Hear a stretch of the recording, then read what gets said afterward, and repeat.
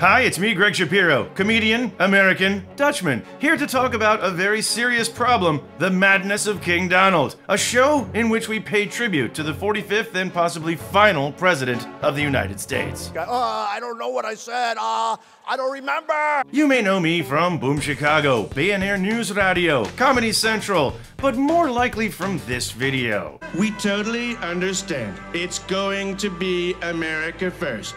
But can we just say the Netherlands second?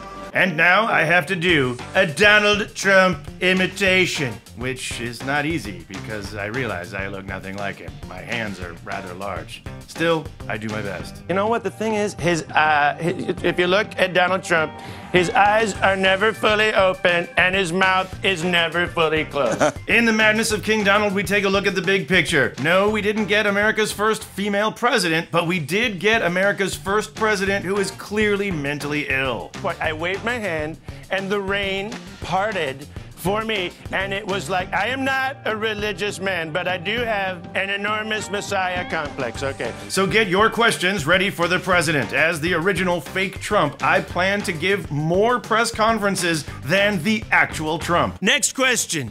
Will you stroke my dirt filled fur? I guess it's no longer okay to grab you by the dirt filled fur. The Madness of King Donald, only in the Netherlands. I love the Netherlands. I love the color orange. Why do you think I paint my face orange every day?